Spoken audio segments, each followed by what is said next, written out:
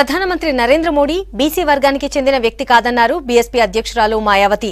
మోడీ నకిలీ ఓబీసీ అని సమాజ్వాదీ పార్టీ వ్యవస్థాపకుడు ములాయం సింగ్ యాదవ్ అసలైన ఓబీసీ అన్నారు.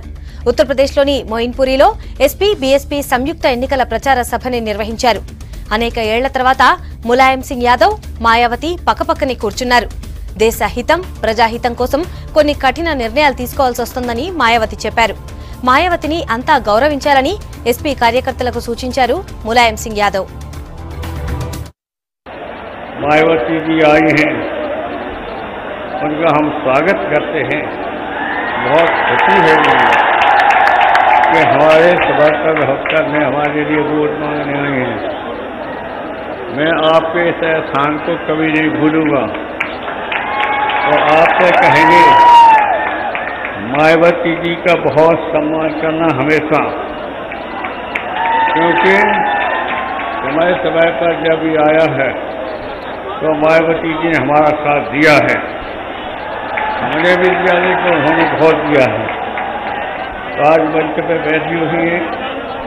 हमारे क्षेत्र में इसलिए हमें बहुत खुशी है।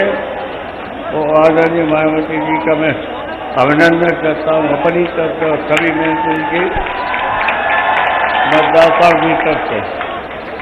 कि इसमें कोई संदेह नहीं है कि इन्होंने अपने समाजवादी बैनर के तले यहाँ उत्तर प्रदेश में सभी समाज के लोगों को अपनी पार्टी में काफ़ी कुछ जोड़ा है और खासकर और खासकर अपने अन्य पिछड़े वर्ग के लोगों को तो इन्होंने बड़े पैमाने पर जोड़ा है। जो ये लोग आज भी यहाँ पूरे प्रदेश में श्री मुलायम सिंह यादव जी को ही अपना असली व वास्तविक नेता मानकर चलते हैं, खास तौर से बैकवर्ड क्लास के लोग। इसके साथ ही ये प्रधानमंत्री, इसके साथ ही ये प्रधानमंत्री श्री नरेंद्र मोदी की तरह नकली व फर्जी पिछड़े वर्ग के नहीं हैं।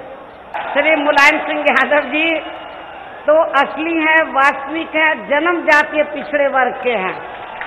यानी कि श्री नरेंद्र मोदी ने अपने आप को वास्तविक व जनजाति पिछड़े वर्ग का बताकर इसका पिछले लोकसभा के हुए आम चुनाव में काफ़ी चुनावी लाभ भी उठाया है और फिर इसकी आड़ में ये देश के प्रधानमंत्री भी बन गए।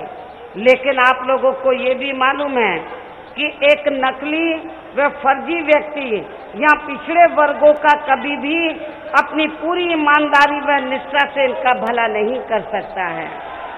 कि आप सब मिलकर के बहुजन समाज पार्टी और आदरणीय राष्ट्रीय अध्यक्ष जी का हमेशा सम्मान करेंगे।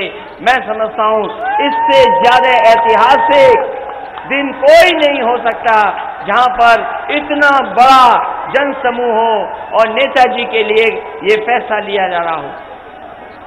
जहाँ तक देश की परिस्थितियों का सवाल है कि देश बहुत नाजुक समय से गुजर रहा है।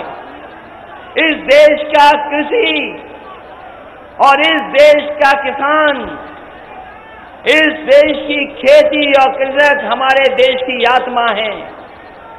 हमारे किसान भाई दुखी हैं। गाँव में रहने वाले लोगों के साथ धोखा हुआ। इन नौजवानों का भविष्य अंधकार में है। इनकी नौकरी और रोज़गार खत्म हो गया। इसलिए ये चुनाव जहाँ देश के भविष्य से जुड़ा है, वहीं इस देश के आबादी के सबसे ज़्यादा गरीब, दलित, पिछड़े, अल्पसंख्यक उनके भाग्य से भी जुड़ा हुआ ये चुनाव है। आने वाले समय में सरकार कौन सी बने? उसका फैसला होने जा रहा है। भारतीय जनता पार्टी के लोग कहते हैं कि हमें नया भारत बनाना है। ये माँ गठबंधन कहता है, हमें नया प्रधानमंत्री बनाना है। और जब नया प्रधानमंत्री बनेगा, तभी जाकर के हमारा भारत नया बनेगा। वहीं आपको याद होगा, अगर कभी उत्तर प्रदेश का विकास हुआ है और तेज़ी से ग्रामीण क्षेत्र की जनता का विकास हुआ है तो सपा और बसपा ने मिलकर के इस जनता को खुशहाली के रास्ते पे ले जाने का काम किया।